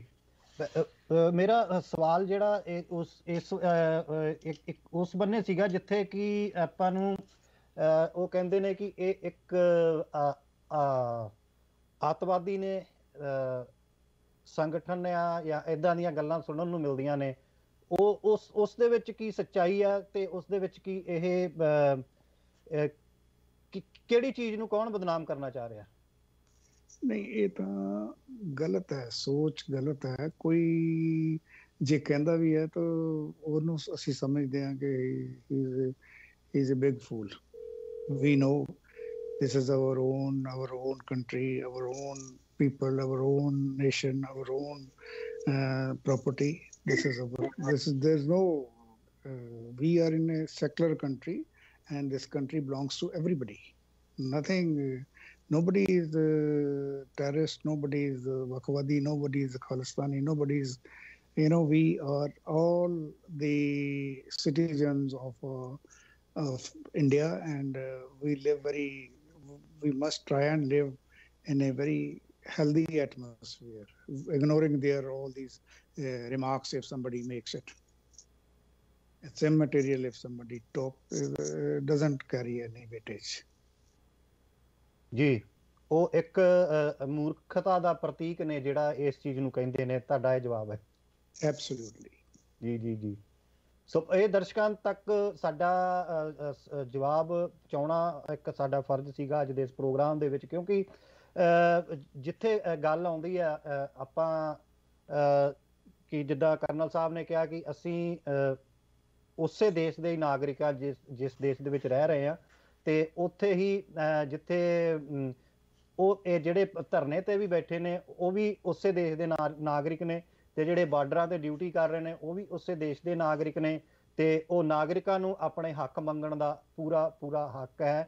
ਤੇ ਇਸ ਹੱਕ ਦੀ ਲੜਾਈ ਦੇ ਵਿੱਚ ਜਿਸ ਤਰੀਕੇ ਨਾਲ, ਉਹ ਸ਼ਾਂਤਮਈ ਤਰੀਕੇ ਨਾਲ ਸਾਡੇ ਕਿਸਾਨ ਭਰਾ ਪੂਰੀ ਇੰਡੀਆ ਤੋਂ ਵੱਖਰੇ ਵੱਖਰੇ ਸਟੇਟਸ ਤੋਂ ਆ ਕੇ ਵ- ਵੱਖਰੇ ਵੱਖਰੇ ਦਿੱਲੀ ਦੇ ਬਾਰਡਰ ਦੇ ਉੱਪਰ ਬੈਠੇ ਨੇ। ਉਹ ਇੱਕ ਸ਼ਾਂਤਮਈ ਤਰੀਕੇ ਨਾਲ ਆਪਣੇ ਹੱਕ ਦੀ ਲੜਾਈ ਦੇ ਵਿੱਚ ਲੜ ਰਹੇ ਨੇ ਤੇ ਜਿਹੜੇ ਬਾਰਡਰ ਤੇ ਨੇ, ਉਹ ਆਪਣੇ ਦੇਸ਼ ਨੂੰ ਬਚਾਉਣ ਦੇ ਵਾਸਤੇ ਉਹ ਬਾਰਡਰਾਂ ਦੇ ਉੱਪਰ ਇੱਕ ਮਜ਼ਬੂਤੀ ਦੇ ਨਾਲ ਐਜ਼ ਅ ਰੌਕ ਜਿੱਦਾਂ ਕਰਨਲ ਸਾਹਿਬ ਨੇ ਕਿਹਾ ਕਿ ਇੱਕ ਪੱਥਰ ਵਾਂਗੂ, ਚਟਾਨ ਵਾਂਗੂ ਖੜੇ ਨੇ ਸਾਹਮਣੇ ਕਿਸੇ ਵੀ ਚੀਜ਼ ਨੂੰ ਕੋਈ ਵੀ ਦੁਸ਼ਮਣ ਦਾ ਵਾਰ ਹੋਵੇ ਉਸ ਨੂੰ ਫੇਸ ਕਰਨ ਦੇ ਲਈ। ਤੇ ਕਰਨਲ ਸਾਹਿਬ ਇਸ ਦੇ ਵਿੱਚ ਜਦੋਂ ਆਪਾਂ ਗੱਲ ਕਰ ਰਹੇ ਹਾਂ ਕਿ ਜਿਹੜੀ ਬਾਰਡਰ ਜਿਹੜੀ ਦਿੱਲੀ ਦੇ ਵਿੱਚ ਜੋ ਹੋ ਰਿਹਾ ਹੈਗਾ ਵਾ ਉਸ ਦੇ ਵਿੱਚ ਸਾਨੂੰ ਕੀ ਦਿਖਦਾ ਵਾ ਕਿ ਕੋਈ ਲਾਈਟ ਇੰਟਰਨਲ ਜਾਂ ਕਿ ਅਹ, ਇਸ ਦਾ ਕਿੰਨੀ ਕੁ ਜਲਦੀ ਇਸ ਦਾ ਕੋਈ ਫੈਸਲਾ ਆਵੇਗਾ ਜਾਂ ਅਜੇ ਤੱਕ ਕੋਈ ਅਜੇ ਤੱਕ ਸਾਡੇ ਕੋਲ ਕੋਈ ਉਹਦਾ ਹੈ ਨਹੀਂਗਾ ਆਈਡੀਆ ਕਿ ਕਿੰਨਾ ਕੁ ਟਾਈਮ ਲੱਗ ਜਾਏਗਾ ਦੇਖੋ ਹੋਲਿਸਟਿਕਲੀ ਦੇਖਿਆ ਜਾਵੇ ਤੇ political masters also confused at this stage. Okay, how much time will they take? Whereas the agitation is in its full swing. And uh, let's hope things will move in the right directions. Maybe a month or two. जी maybe maybe before that Yes. so it's not you know one should think of uh, you know positive signals positive they you know one should be optimistic on this issue Yes since time immemorial, no MSP, only uh, only Heise. And uh, today the, the farmers they are correct. Whatever they are standing for, they are correct. I am also a farmer, and I stand by their ideology.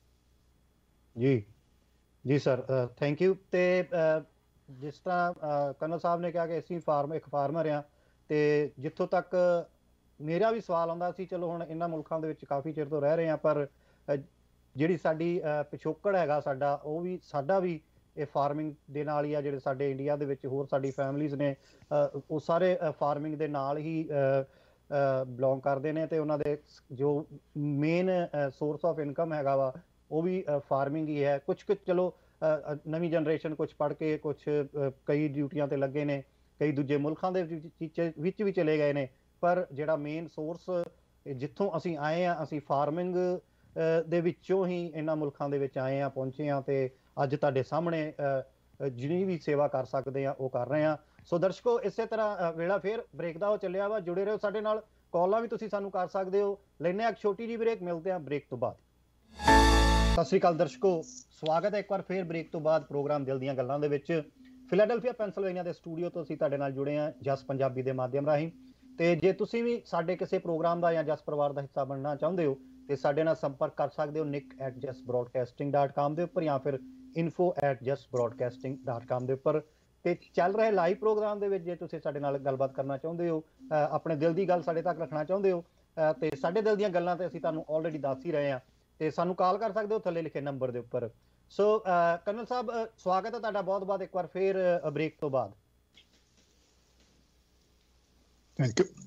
ਜੀ ਤੇ ਜਿੱਥੇ ਆਪਾਂ ਗੱਲਬਾਤ ਕਰ ਰਹੇ ਸੀਗੇ ਕਿ army ਦੀ ਜਿਹੜੀ ਬਾਰਡਰ ਤੇ ਆ ਜਾਂ ਜਿਹੜਾ ਅੰਦੋਲਨ ਦੀ ਗੱਲ ਕਰ ਰਹੇ ਆ ਜਿੱਥੇ ਕਿ ਉੱਥੇ ਵੀ ਸਾਡੇ ਨੌਜਵਾਨ ਨੇ ਪਰ ਉਹਨਾਂ ਨੂੰ ਇੱਕ ਮਤਭੇਦ ਦੇ ਤਰੀਕੇ ਦੇ ਨਾਲ ਕਈ ਮੀਡੀਆ ਕਈ ਲੋਕ ਦਰਸਾ ਰਹੇ ਨੇ ਜਿਹੜਾ ਕਿ ਇੱਕ ਬੜਾ ਹੀ ਬੜੀ ਕੀ ਇੱਕ ਅਨਪੜਤਾ ਵਾਲੀ ਆ ਕਿਸੇ ਹੋਰ ਤਰੀਕੇ ਨਾਲ ਜਿੱਦਾਂ ਤੁਸੀਂ ਕਿਹਾ ਮੂਰਖਤਾ ਵਾਲੀ ਜਿਹੜੀ ਗੱਲ ਹੈ ਉਹ ਦੇਖਣ ਨੂੰ ਮਿਲ ਰਹੀ ਹੈ ਪਰ ਸੱਚ ਪੂਰੀ ਦੁਨੀਆ ਜਾਣਦੀ ਆ ਤੇ ਇਹ ਸਾਡੇ ਨਾਲ ਕਾਲਰ ਨੇ ਉਹਨਾਂ ਨਾਲ ਇੱਕ ਮਿੰਟ ਦੀ ਗੱਲ ਕਰਾਂਗੇ ਤਾਂ। ਹੈਲੋ ਸਤਿ ਸ਼੍ਰੀ ਅਕਾਲ ਜੀ। ਸਤਿ ਸ਼੍ਰੀ ਅਕਾਲ। ਹਾਂਜੀ ਬਹੁਤ ਬਹੁਤ ਸਵਾਗਤ ਹੈ ਜੀ ਤੁਹਾਡਾ। ਹਾਂਜੀ ਸਤਿ ਸ਼੍ਰੀ ਅਕਾਲ ਦੇਖ ਜੀ ਮੈਂ ਹਰਬੰਸ ਸਿੰਘ ਢਿੱਲੋਂ ਹਾਂਜੀ ਬੋਲ ਸਰ ਰਿਹਾ ਸਰ ਸਰ ਯੂਨੀਵਰਸਿਟੀ ਬਹੁਤ ਬਹੁਤ ਸਵਾਗਤ ਹੈ। ਕਰਨਲ ਸਾਹਿਬ ਇਹ ਸਾਡੇ ਰੈਗੂਲਰ ਕਾਲਰ ਨੇ। ਹਮੇਸ਼ਾ ਕਰਦੇ ਨੇ ਸਾਨੂੰ ਕਾਲਾਂ ਵੱਖਰੇ ਵੱਖਰੇ ਪ੍ਰੋਗਰਾਮਾਂ ਦੇ ਵਿੱਚ। ਜੀ ਬਹੁਤ ਬਹੁਤ ਸਵਾਗਤ ਹੈ ਸਰ। ਕੀ ਕੋਈ ਸਵਾਲ ਤੁਹਾਡਾ ਕਰਨਲ ਸਾਹਿਬ ਨਿਸ਼ਾਨ ਸਿੰਘ ਰੰਧਾਵਾ ਅੱਜ- ਦੇ ਸਾਡੇ ਗੈਸਟ ਨੇ ਸਰ? ਹਾਂਜੀ ਸਤਿ ਸ਼੍ਰੀ ਅਕਾਲ ਦੇਖ ਜੀ ਤੇ ਕਰਨਲ ਸਾਹਿਬ ਤੁਹਾਨੂੰ ਵੀ ਸਤਿ ਸ਼੍ਰੀ ਅਕਾਲ। ਬਹੁਤ ਸਤਿ ਸ਼੍ਰੀ ਅਕਾਲ ਸਰ ਸਤਿ ਸ਼੍ਰੀ ਅਕਾਲ। ਤੇ ਅੱਜ ਆਏ ਤੇ ਆਪਣੇ ਵਿਚਾਰ ਸਾਂਝੇ ਕੀਤੇ। ਅੱਜ ਕੱਲ ਸਾਡੇ ਦੇਸ਼ ਵਿੱਚ ਜੋ ਮੇਜਰ ਲੜਾਈ ਚੱਲ ਰਹੀ ਆ ਜੋ ਮੁੱਦਾ ਚੱਲ ਰਿਹਾ ਉਹ ਆ ਜੈ ਜਵਾਨ ਤੇ ਜੈ ਕਿਸਾਨ। ਮੈਨੂੰ ਖੁਸ਼ੀ ਆ ਵੀ ਅੱਜ ਜੈ ਜਵਾਨ ਦੇ ਨਾਲ ਸਾਡੀ ਇਸ ਮੁੱਦੇ ਤੇ ਕਰਨਲ ਸਾਹਿਬ ਨਾਲ ਗੱਲ ਹੋ ਰਹੀ ਆ ਜਿਹੜੇ ਤੁਸੀਂ ਆਪਣੇ ਬੜੇ ਸੋਹਣੇ ਵਿਚਾਰ ਪ੍ਰਗਟ ਕੀਤੇ ਕਿ ਤੁਸੀਂ ਦੇਸ਼ ਦੀ ਅਹ, ਹੋਂਦ ਵਾਸਤੇ ਆਪਣੀ ਲੜਾਈ ਵਿੱਚ ਵੀ ਹਿੱਸਾ ਲਿਆ। ਬੜੀ ਚੰਗੀ ਗੱਲ। ਦੋ ਮੈਸੇਜ, ਜੈ ਜਵਾਨ ਤੇ ਜੈ ਕਿਸਾਨ। ਕਿਸਾਨ ਖਲਕਤ ਦਾ ਪੇੜ ਭਰਦਾ ਅੰਨ ਉਗਾ ਕੇ ਔਰ ਜਵਾਨ ਆਪਣੇ ਸਰੀਰ ਦੀ ਹੂਤੀ ਦੇ ਕੇ ਆਪ ਇਸ ਦੇਸ਼ ਦੀ ਸੇਵਾ ਕਰਦਾ। ਔਰ ਤੁਹਾਡੇ ਆਉਣ ਨਾਲ ਅਸੀਂ ਇਸ ਸਰਕਾਰ ਨੂੰ ਦੱਸ ਪਾਵਾਂਗੇ। ਕਿ ਜੈ ਜਵਾਨ ਦਾ ਕੀ ਰੋਲ ਹੈ ਇਸ ਦੁਨੀਆ ਵਿੱਚ? ਔਰ ਸਾਡੇ ਦੇਸ਼ ਵਿੱਚ ਤੇ ਸਾਡੇ ਪੰਜਾਬ ਵੱਲੋਂ ਇਹਨਾਂ ਦਾ ਕੀ ਰੋਲ ਆ? ਪੰਜਾਬ ਵਾਲਿਆਂ ਨੇ ਦੇਸ਼ ਵਾਸਤੇ ਕਿੱਦਾਂ ਆਪਣੀ ਜਾਨ ਹੀਲੀ? ਤੇ ਜਿਹੜਾ ਇਹ ਸਾਡੀ ਸਰਕਾਰ ਕਹਿੰਦੀ ਆ ਵੀ ਇਹ ਪੰਜਾਬੀ ਆਤੰਕਵਾਦੀ ਆ, ਇਹ ਪਾਕਿਸਤਾਨੀ ਆ, ਇਹ ਟੁਕੜੇ ਟੁਕੜੇ ਸੰਗ ਆ, ਇਹ ਖਾਲਿਸਤਾਨੀ ਨੇ, ਉਹਨਾਂ ਨੂੰ ਅਸੀਂ ਸੁਨੇਹਾ ਦੇ ਪਾਵਾਂਗੇ ਵੀ ਅਸੀਂ ਇਹ ਜੋ ਤੁਸੀਂ ਆਪਣੇ ਮਨ ਵਿੱਚ ਲਈ ਬੈਠੇ ਜੇ, ਉਹ ਨਹੀਂ ਅਸੀਂ ਦੇਸ਼ ਭਗਤਿਆਂ ਦੇਸ਼ ਭਗਤੀ ਵਿੱਚ ਵੀ ਜ਼ਿਆਦਾ ਸਾਡਾ ਹਿੱਸਾ ਸੀ। ਜੇ 123 ਫਾਂਸੀਆਂ ਦੇਸ਼ ਵਾਸਤੇ ਅੰਗਰੇਜ਼ ਰਾਜ ਵੇਲੇ ਹੋਈਆਂ ਤੇ 93 ਫਾਂਸੀਆਂ ਸਾਡੀਆਂ ਪੰਜਾਬ ਦੀਆਂ ਸਨ। ਸੋ ਇਸ ਕਰਕੇ ਇਸ ਕਰ, ਇਹਨਾਂ ਨੂੰ ਇਹ ਸਾਰਾ ਕੁਝ ਅਸੀਂ ਦੱਸ ਪਾਵਾਂਗੇ ਵੀ ਇਹ ਦੇਸ਼ ਭਗਤ ਕੌਮ ਆ, ਨਾ ਕਿ ਆਤੰਕਵਾਦੀ ਜਾਂ ਵੱਖਵਾਦੀ। ਇਹ ਦੇਸ਼ ਭਗਤ ਕੌਮ ਦੇ ਹੀ ਲੈਫਟੀਨੈਂਟ ਜਨਰਲ ਹਰਬਖਸ਼ ਸਿੰਘ ਨੇ ਠੱਲ ਪਾਈ ਸੀ 65 ਵੇਲੇ। ਤੁਸੀਂ ਤੇ ਇਸ ਕਿੱਤੇ ਨਾਲ ਇਸ ਪਰਿਵਾਰ ਨਾਲ ਆਰਮੀ ਦੇ ਨਾਲ ਤੁਹਾਨੂੰ ਹਰ ਚੀਜ਼ ਦਾ ਮੇਰੇ ਨਾਲੋਂ ਜ਼ਿਆਦਾ ਪਤਾ। ਤੁਹਾਡੀ ਦੇਣ ਤੁਹਾਡੇ ਤੁਹਾਡੀ ਇਸ ਪਰਿਵਾਰ ਦੀ ਫੌਜ ਪਰਿਵਾਰ ਦੀ ਮੈਂ ਕਹੂੰਗਾ ਤੇ ਤੁਸੀਂ ਵੀ ਉਹਦੇ ਵਿੱਚੋਂ ਆਪਣਾ ਮੇਜਰ ਅੱਜ ਸਾਰਾ ਕੁਝ ਚਾਨਣਾ ਪਾ ਕੇ ਸਾਨੂੰ ਯੋਗਦਾਨ ਪਾਇਆ। ਪਹਿਲੀ ਖੁਸ਼ੀ ਤੇ ਮੈਨੂੰ ਇਹ ਆ ਤੁਹਾਡੇ ਇੱਥੇ ਆਉਣ ਦੀ। ਦੂਜੀ ਦੂਜੀ ਖੁਸ਼ੀ ਮੈਨੂੰ ਜਿਆਦੀ ਤਾਂ ਵੀ ਮੈਂ ਇੱਕ ਉਸ ਪਿੰਡ ਨਾਲ ਸੰਬੰਧ ਰੱਖਦਾ ਮੇਰਾ ਪਿੰਡ ਦਾ ਕਸੇਲ ਢੰਡ ਕਸੇਲ ਜਿਹਨੂੰ ਕਹਿੰਦੇ ਆ ਜਿੱਥੋਂ ਦੇ ਹਰ ਘਰ ਨੇ ਇੱਕ ਇੱਕ ਆਪਣਾ ਜੀ ਦੇਸ਼ ਦੀ ਆਰਮੀ ਵਾਸਤੇ ਅਹ, ਉਹਨਾਂ ਉਹਨਾਂ ਦਿੱਤਾ। ਜਦੋਂ ਸਨ 1962 ਦੀ ਲੜਾਈ ਹੋਈ ਤਾਂ ਇੱਕੇ ਬੈਚ ਵਿੱਚ ਹੀ 10 ਅਫਸਰ ਭਰਤੀ ਹੋ ਕੇ ਉਹਨਾਂ ਨੇ ਮਦਰਾਸ ਇਕੱਠੀ ਓਟੀ ਟ੍ਰੇਨਿੰਗ ਕੀਤੀ। ਮੇਰਾ ਖਿਆਲ ਵੀ ਇਹ ਸਾਰੇ ਇੰਡੀਆ ਵਿੱਚ ਇੱਕ ਬੜੀ ਵੱਡੀ ਉਦਾਹਰਨ ਹੋਊਗੀ। ਇੱਕੇ ਟਾਈਮ ਤੇ ਭਰਤੀ ਹੋ ਕੇ ਇੱਕੋ ਹੀ ਆਫੀਸਰ ਟ੍ਰੇਨਿੰਗ ਮਦਰਾਸ ਵਿੱਚ ਕਰਕੇ ਤੇ ਫਿਰ ਸਾਰੇ ਛੁੱਟੀ ਆਏ। ਤੇ ਬਹੁਤ ਸਾਰੇ ਸਾਡੇ ਪਿੰਡ ਦੇ ਜਿਨ੍ਹਾਂ ਨੇ ਆਰਮੀ ਵਿੱਚ ਜਿਨ੍ਹਾਂ ਯੋਗਦਾਨ ਪਾਇਆ ਤੇ ਜਦੋਂ ਕਈ ਵਾਰ ਬਹੁਤੇ ਛੁੱਟੀ ਆਏ, ਹੁਣ ਤੇ ਇੰਜ ਲੱਗਦਾ ਵੀ ਇਹ ਸਾਡਾ ਪਿੰਡ ਕਸੇਲ ਨਹੀਂ, ਇਹ ਕੋਈ ਛਾਉਣੀ ਆ। ਤੇ ਸੋ ਬੜੀ ਖੁਸ਼ੀ ਤੁਹਾਡੇ ਆਉਣ ਨਾਲ ਬੜਾ ਚਾਹ ਹਰ ਤਰੀਕੇ ਨਾਲ ਤੁਸੀਂ ਸੁਣਨਾ ਚਾਨਣਾ ਪਾਇਆ ਤੇ ਦੇਸ਼ ਦੀ ਆਜ਼ਾਦੀ ਵਾਸਤੇ ਜੋ ਮੇਜਰ ਰੋਲ ਪੰਜਾਬੀਆਂ ਦਾ ਵਾ ਉਹ ਸਲਾਉਣਯੋਗ ਹੈ ਓਕੇ ਸਰ ਜੀ। ਮੇਰੇ ਪਿੰਡ ਦੇ ਬੜੇ ਅਫਸਰ ਜਿਨ੍ਹਾਂ ਦੇ ਨਾਂ ਮੈਨੂੰ ਮੈਨੂੰ ਤੇ ਹੁਣ ਬੜਾ ਚਿਰ ਹੋ ਗਿਆ ਇੱਥੇ ਆਏ ਨੂੰ। ਥੋੜਿਆਂ ਦੇ ਜ਼ਬਾਨੀ ਯਾਦ ਹੋਣਗੇ। ਇੱਕ ਸੀ ਲੈਫਟੀਨੈਂਟ ਜਗਵਿੰਦਰ ਸਿੰਘ ਬ੍ਰਿਗੇਡੀਅਰ ਹਰਦੀਪ ਸਿੰਘ ਜਿਨੀ ਜਿਨ੍ਹਾਂ ਦੀ 1965 ਵਿੱਚ ਇੱਕ ਲੱਤ ਵੀ ਕੱਟੀ ਗਈ ਸੀ colonel Sukhchain Singh colonel Inderjit Singh colonel ਨੌ Nihal Singh colonel Jaspal Singh colonel Rajinder Singh colonel Jagwant Singh colonel Bakhshish Singh colonel Darshan Singh colonel Jagtar Singh colonel Karam Singh colonel Harshan Singh ਬਹੁਤ ਇਹ ਉਹ ਨਾਂ ਨੇ ਜਿਹੜੇ ਮੈਂ ਮੈਨੂੰ ਹੁਣ ਇਸ ਉਮਰੇ ਵੀ 76 ਸਾਲ ਦੀ ਉਮਰ ਵਿੱਚ ਚੇਤੇ ਨੇ ਔਰ ਇਹਨਾਂ ਵਿੱਚੋਂ ਕਈ ਜਿਹੜੇ ਪੰਜ ਜੀ ਇੱਕੇ ਪਰਿਵਾਰ ਦੇ ਅਫਸਰ ਸੀ ਜਿਨ੍ਹਾਂ ਵਿੱਚ ਕਰਨਲ ਬਖਸ਼ੀਸ਼ ਸਿੰਘ ਕਰਨਲ ਦਰਸ਼ਨ ਸਿੰਘ ਜਗਤਾਰ ਸਿੰਘ ਕਰਮ ਸਿੰਘ ਹਰਸ਼ਨ ਸਿੰਘ ਇੱਕੇ ਪਰਿਵਾਰ ਦੇ ਅਫਸਰ ਸੀ। ਇੰਨੀ ਦੇਣ ਮਤਲਬ ਇਸ ਪਿੰਡ ਦੀ ਜਾਂ ਇਹਨਾਂ ਪਰਿਵਾਰਾਂ ਦੀ ਦੇਸ਼ ਨੂੰ ਆ। ਤੇ ਤੁਸੀਂ ਵੀ ਉਸ ਪਰਿਵਾਰ ਦੇ ਮੈਂਬਰ ਜੇ ਤੇ ਮੈਨੂੰ ਬੜੀ ਖੁਸ਼ੀ ਤੇ ਬੜਾ ਚਾਹ ਵਾ ਕਰਨਲ ਸਾਹਿਬ। ਓਕੇ ਸਰ ਢਿੱਲੋਂ ਸਾਹਿਬ ਬਹੁਤ ਬਹੁਤ ਸ਼ੁਕਰੀਆ। ਗੱਲਾਂ ਬਾਤਾਂ you. ਕਾਫੀ ਰਹਿ ਗਈਆਂ ਨੇ ਤੇ ਟਾਈਮ ਥੋੜਾ ਰਹਿ ਗਿਆ ਆ। ਤੇ ਬਹੁਤ ਬਹੁਤ ਸ਼ੁਕਰੀਆ ਕਾਲ ਕਰਨ ਵਾਸਤੇ ਤੇ ਇੰਨੀ ਇਨਫੋਰਮੇਸ਼ਨ ਦੇਣ ਵਾਸਤੇ ਬਹੁਤ ਬਹੁਤ ਸ਼ੁਕਰੀਆ ਜੀ ਥੈਂਕ ਯੂ ਮੈਂ ਚਾਹੁੰਦਾ ਮੈਂ ਚਾਹੁੰਦਾ ਕਰਨਲ ਸਾਹਿਬ ਵੀ ਮਤਲਬ ਮੇਰੇ ਮੈਂ ਉਹਨਾਂ ਨੂੰ ਸਲਾਮ ਕਰਦਾ ਤੇ ਉਹ ਮੇਰੀ ਸਤਿ ਸ੍ਰੀ ਅਕਾਲ ਪ੍ਰਵਾਨ ਕਰਨ ਜੀ sir thank you sir thank you okay ਜੀ। ਹਾਂਜੀ ਕਰਨਲ ਸਾਹਿਬ ਗੱਲਾਂ ਬਹੁਤ ਨੇ ਕਰਨ ਵਾਲੀਆਂ ਸਮਾਂ ਜਿਹੜਾ ਵਾ ਘੜੀ ਅੱਗੇ ਨੂੰ ਭੱਜੀ ਜਾਂਦੀ ਪਈ ਆ। ਸੋ ਆਪਾਂ ਜਿਹੜੇ ਸਾਡੇ ਕਾਲਰ ਹੁੰਦੇ ਉਹਨਾਂ ਦੀ ਵੀ ਗੱਲ ਪੂਰੀ ਸੁਣਨੀ ਹੁੰਦੀ ਆ। ਅ, ਤੇ ਉਹਨਾਂ ਦਾ ਐਕਸਪੀਰੀਅੰਸ ਜਿਸ ਤਰ੍ਹਾਂ ਉਹਨਾਂ ਨੇ ਦੱਸਿਆ ਉਸ ਦੇ ਨਾਲ ਤੁਸੀਂ ਤੇ ਜਾਣੂ ਹੋ ਹੀ ਗਈ।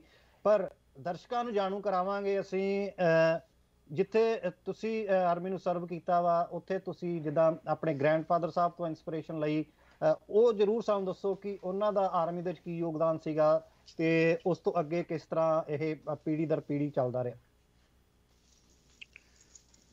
ਉਹ 21 ਸਾਲ ਦੀ ਏਜ ਵਿੱਚ 53 ਸਿੱਖ ਇੱਕ 53 ਸਿੱਖ ਬਟਾਲੀਅਨ ਦੇ ਵਿੱਚ ਉਹ ਭਰਤੀ ਹੋਏ ਐਸ ਜਵਾਨ it was before I think before the world, uh, he joined in joined the army in 1915, to, to the best of my knowledge. And he served just for three years when he was injured and uh, injured grievously. Then he was boarded out, and uh, that was his motivation. ਜੀ but he wa- he he was having very broad-minded about the you know the bravery of the Sikhs. He had read the mm, uh, task of various battalions all over in the world of Sikhs, their performance of the Sikh battalions. You may not be, you may be knowing that a lot of battalions were uh, in the you know Europe during those days. These Sikh battalions were there. ਜੀ ਜੀ ਉਸ ਦੇ ਵਿੱਚ ਅ, ਜਦੋਂ ਜਿ- ਜਿਸ ਜਦੋਂ ਤੁਸੀਂ ਕਹਿ ਰਹੇ ਹੋ ਉਹਨਾਂ ਨੇ ਸਰਵਿਸ ਕੀਤੀ ਉਸ ਦੇ ਵਿੱਚ ਅ, ਜਦੋਂ ਹੀ ਗਾਟ ਵਾਉਂਡਡ ਤਾਂ ਉਹ ਕਿਹੜੀ ਅ, ਵਾਰ ਕਿਹੜੀ ਸੀਗੀ ਅ, ਕਿਹੜੀ It was ਜੰਗ fir- ਦੇ ਵਿੱਚ First World War and Battle of Asra. It's uh, near Basra. Basra, Baghdad. ਸੁਣਿਆ ਹੋਵੇਗਾ ਤੁਸੀਂ ਜੀ ਬਸਰਾ ਬਸਰਾ ਔਰ ਬਗਦਾਦ ਸੁਣਿਆ ਹੋਵੇਗਾ ਇਹ ਅਸਰਾ ਦੀ ਬੈਟਲ ਸੀ ਅਸਰਾ ਦੀ ਬੈਟਲ ਦੇ ਵਿੱਚ ਹੀ ਵਾਸ ਵੂਨਡਡ ਜੀ ਸੋ ਇੱਕ- ਜਿੱਥੇ ਆਪਾਂ ਦੇਖਦੇ ਆ ਇੱਕ ਇਤਿਹਾਸ ਦੇਖਦੇ ਆ ਜਿੱਥੇ ਇਤਿਹਾਸ ਦੀਆਂ ਗੱਲਾਂ ਨੇ ਕਿ ਜਿੱਥੋਂ ਇਹ ਜਿਹੜੇ ਸਾਡੇ ਪੰਜਾਬੀ ਨੇ, ਇਹਨਾਂ ਨੇ ਇਹ ਨਹੀਂ ਕਿ ਦੇਸ਼ ਦੀ ਆਜ਼ਾਦੀ ਤੋਂ ਬਹੁਤ ਪਹਿਲਾਂ ਦੀ ਗੱਲ ਹੈ, ਜਦੋਂ ਤੋਂ ਕਿ ਇੱਕ ਐਜ਼ ਅ ਆਰਮੀ ਸਾਡੀ ਪਹਿਚਾਨ ਬਣੀ ਸੀ ਤੇ ਉਸ ਪਹਿਚਾਨ ਨੂੰ ਸਾਡੇ ਅੱਗੇ ਨੌਜਵਾਨਾਂ ਨੇ ਬ- ਦਰ ਬਦਰ ਮੀਨ ਪੀੜੀ ਦਰ ਪੀੜੀ ਉਸ ਨੂੰ ਅੱਗੇ ਤੋਂ ਅੱਗੇ ਤੋਰਿਆ ਤੇ ਜਿਸ ਦਾ ਇੱਕ ਪ੍ਰੂਫ ਸਾਡੇ ਸਾਹਮਣੇ ਅੱਜ ਦੇ ਸਾਡੇ ਮਹਿਮਾਨ ਬੈਠੇ ਨੇ। ਸਰ ਅ- ਆਪਾਂ ਦਰਸ਼ਕਾਂ ਨੂੰ ਅ, ਕੀ ਮੈਸੇਜ ਦੇਣਾ ਚਾਹਾਂਗੇ ਅੱਜ ਦੇ ਪ੍ਰੋਗਰਾਮ ਦੇ ਵਿੱਚ ਅ, ਅ, ਆਪਾਂ ਸਰਵਿਸ ਤੋਂ ਲੈ ਕੇ ਜੋ ਅੱਜ ਕੱਲ ਚੱਲ ਰਿਹਾ ਦੇਸ਼ ਦੇ ਵਿੱਚ ਉੱਥੋਂ ਲੈ ਕੇ ਅ, ਜੋ ਕੁਝ ਵੀ ਹੈਗਾ ਉਸ ਦੇ ਵਿੱਚ ਕੀ ਇੱਕ ਅ, ਪੂਰਾ ਮੈਸੇਜ ਕੀ ਹੈਗਾ ਸਾਡੀ ਆਡੀਅנס ਵਾਸਤੇ ਅੱਜ ਤੁਹਾਡੇ ਵੱਲੋਂ you know i being a soldier i must convey uh, to my all the countrymen wherever they are they must perform well their duties if they're deployed in the borders they must consider that this is our own country and all this is our own native land. We must serve to the best of our uh, capabilities. And whosoever is uh, performing the duties in the forms he should also consider that he is also part of our uh, of the society. And sooner or later the government will do justice to them. There's no doubt in that i hope i have all the uh, hopes that if there is uh, you know this agitation is there but the government will uh, do justice to these people. Because if there's farm farmer there's a food. If there's no farmer there's no food. So they are the people those who are for the people for everything for every walk of life it's uh, for every every walk of life the uh, the farmers. ਜੀ। ਜੀ sir ਉਹੀ ਗੱਲ ਉੱਥੇ ਹੀ ਆ ਜਾਂਦੀ ਹੈ ਕਿ time ਲੱਗੇਗਾ ਕਿਉਂਕਿ ਜਿਹੜਾ ਸੰਘਰਸ਼ ਹੈ ਇਹ ਇੱਕ ਇਨਸਾਫ ਦੀ ਗੱਲ ਹੈ ਇੱਕ ਹੱਕ ਦੀ ਗੱਲ ਹੈ ਤੇ ਕਿਸੇ ਦਾ ਹੱਕ ਕੋਈ ਖੋ ਨਹੀਂ ਸਕਦਾ ਤੇ ਜਿਸ ਤਰ੍ਹਾਂ ਕਰਨਲ ਸਾਹਿਬ ਨੇ ਦੱਸਿਆ ਨੋ ਫਾਰਮਰ ਨੋ ਫੂਡ ਕਿ ਜੇ ਸਾਡੇ ਕਿਸਾਨ ਨਹੀਂ ਹੋਣਗੇ, ਜੇ ਖੇਤੀ ਨਹੀਂ ਹੋਏਗੀ, ਤੇ ਅਸੀਂ ਖਾਵਾਂਗੇ ਕੀ? ਗੱਲਾਂ ਗੱਲਾਂ ਨਾਲ ਤੇ ਢਿੱਡ ਨਹੀਂ ਭਰਨਾ ਤੇ ਨਾ ਹੀ ਪੋਲਿਟਿਕਸ ਨਾਲ ਢਿੱਡ ਭਰਨਾ ਆ। ਢਿੱਡ ਭਰਨ ਵਾਸਤੇ ਸਾਨੂੰ ਅੰਨ ਦੀ ਲੋੜ ਪਏਗੀ ਤੇ ਅੰਨ ਵਾਸਤੇ ਸਾਨੂੰ ਅੰਨਦਾਤਾ ਦੀ ਲੋੜ ਆ ਤੇ ਅੰਨਦਾਤਾ ਨੂੰ ਅੱਜ ਇੱਕ ਇਨਸਾਫ ਦੀ ਲੋੜ ਆ, ਜਿਸ ਦੇ ਵਿੱਚ ਪੂਰੀ ਦੁਨੀਆ ਉਹਨਾਂ ਦਾ ਸਾਥ ਦੇ ਰਹੀ ਆ। ਉੱਥੇ ਹੀ ਸਾਡੇ ਜਿਨ੍ਹਾਂ ਨੇ ਆਪਣੇ ਦੇਸ਼ ਦੀ ਸੇਵਾ ਕੀਤੀ 32 ਸਾਲ ਉਹ ਵੀ ਸਾਡੇ ਨਾਲ, ਉਹਨਾਂ ਦੀ ਸਪੋਰਟ ਦੇ ਵਿੱਚ ਅੱਜ ਜਸ ਪਰਿਵਾਰ ਦੇ ਮਾਧਿਅਮ ਰਾਹੀਂ ਤੁਹਾਡੇ ਨਾਲ ਜੁੜੇ ਨੇ ਤੇ ਉੱਥੇ ਹੀ ਸਾਡੇ ਹੋਰ ਮੁਲਕਾਂ ਦੇ ਵਿੱਚ ਵੀ ਰਹਿੰਦੇ ਐਨ ਆਰ ਆਈਜ਼ ਨੇ, ਉਹ ਵੱਖਰੀ ਵੱਖਰੀ ਤਰੀਕੇ ਦੇ ਨਾਲ ਜਿੱਦਾਂ ਵੀ ਮਦਦ ਕਰ ਸਕਦੇ ਨੇ, ਉਹ ਕਰ ਰਹੇ ਨੇ, ਜਿਸ ਦੇ ਵਿੱਚ ਕੀ ਜਿੱਥੋਂ ਤੱਕ ਸਾਡਾ ਵੀ ਸਹਿਯੋਗ ਹੁੰਦਾ ਆ, ਜਸ ਪਰਿਵਾਰ ਦਾ, ਸਾਡੀ ਟੀਮ ਦਾ ਜਿੰਨਾ ਕੋਈ ਵੱਧ ਤੋਂ ਵੱਧ ਇਨਫੋਰਮੇਸ਼ਨ ਅਵੇਅਰਨੈਸ ਤੇ ਸਾਫ਼ ਸੁਥਰਾ ਜੋ ਸੱਚ ਹੈ ਉਹ ਤੁਹਾਡੇ ਤੱਕ ਲੈ ਕੇ ਆਉਂਦੇ ਆ ਵੱਖਰੇ ਵੱਖਰੇ ਪ੍ਰੋਗਰਾਮਾਂ ਦੇ ਵਿੱਚ ਤੇ ਤੁਸੀਂ ਵੀ ਉਹਨਾਂ ਪ੍ਰੋਗਰਾਮਾਂ ਦਾ ਜੇ ਹਿੱਸਾ ਬਣਨਾ ਚਾਹੁੰਦੇ ਹੋ ਤੇ ਸਾਡੇ ਨਾਲ ਜਰੂਰ ਸੰਪਰਕ ਕਰੋ nick@justbroadcasting.com ਦੇ ਉੱਪਰ ਜਾਂ ਫਿਰ info@justbroadcasting.com ਦੇ ਉੱਪਰ ਤੇ ਅੱਜ ਦਾ ਸਾਡਾ ਪ੍ਰੋਗਰਾਮ ਤੁਹਾਨੂੰ ਪਸੰਦ ਜਰੂਰ ਆਇਆ ਹੋਵੇਗਾ ਤੇ ਹਮੇਸ਼ਾ ਕੋਸ਼ਿਸ਼ ਰਹੇਗੀ ਕਿ ਇਸੇ ਤਰ੍ਹਾਂ ਤੁਹਾਨੂੰ ਵਧੀਆ ਵਧੀਆ ਪ੍ਰੋਗਰਾਮ ਲੈ ਕੇ ਆਈਏ ਤੁਹਾਡੇ ਲਈ ਤੇ ਆਪਣਾ ਵੀ ਐਕਸਪੀਰੀਅੰਸ ਤੁਹਾਡੇ ਨਾਲ ਸ਼ੇਅਰ ਕਰੀਏ ਤੇ ਆਪਣੇ ਜਿਹੜੇ ਸਾਡੇ ਮਹਿਮਾਨ ਆਏ ਹੁੰਦੇ ਨੇ, ਉਹਨਾਂ ਦਾ ਵੀ ਐਕਸਪੀਰੀਅੰਸ ਤੁਹਾਡੇ ਤੱਕ ਪਹੁੰਚਾਈਏ। ਸੋ ਕਰਨਲ ਸਾਹਿਬ, ਬਹੁਤ ਬਹੁਤ ਥੈਂਕ ਯੂ ਤੁਹਾਡਾ ਸਾਡੇ ਪ੍ਰੋਗਰਾਮ ਦੇ ਵਿੱਚ ਸਾਡੇ ਨਾਲ ਜੁੜਨ ਵਾਸਤੇ ਜਸ ਪਰਿਵਾਰ ਦਾ ਹਿੱਸਾ ਬਣਨ ਵਾਸਤੇ ਤੇ ਇੱਕ ਦੁਨੀਆ ਨੂੰ ਇੱਕ ਸਾਫ਼ ਸੁਥਰਾ, ਸੱਚਾ ਮੈਸੇਜ ਦੇਣ ਵਾਸਤੇ ਕਿ ਸੱਚੀ ਆਵਾਜ਼, ਸੱਚ ਦੀ ਜ਼ੁਬਾਨ ਅੱਜ ਜਿੱਥੇ ਸੰਘਰਸ਼ ਕਰ ਰਹੀ ਹੈ, ਉੱਥੇ ਹੀ ਸਾਡੇ ਨੌਜਵਾਨ ਬਾਰਡਰਾਂ ਦੇ ਉੱਪਰ ਪੰਜਾਬੀ ਨੌਜਵਾਨ ਜਿਹੜੇ ਖਾਸ ਕਰਕੇ ਬਾਰਡਰਾਂ ਦੇ ਉੱਪਰ ਅ, ਚਟਾਨ ਬਣ ਕੇ ਖੜੇ ਨੇ ਆਪਣੀ ਦੇਸ਼ ਦੀ ਸੁਰੱਖਿਆ ਵਾਸਤੇ। ਸੋ ਦਰਸ਼ਕੋ ਵੇੜਾ ਹੋ ਚੱਲਿਆ ਇਜਾਜ਼ਤ ਇਜਾਜ਼ਤ ਦਾ ਸਿਹਤ ਦਾ ਰੱਖੋ ਧਿਆਨ ਰੱਬ ਰਾਖਾ।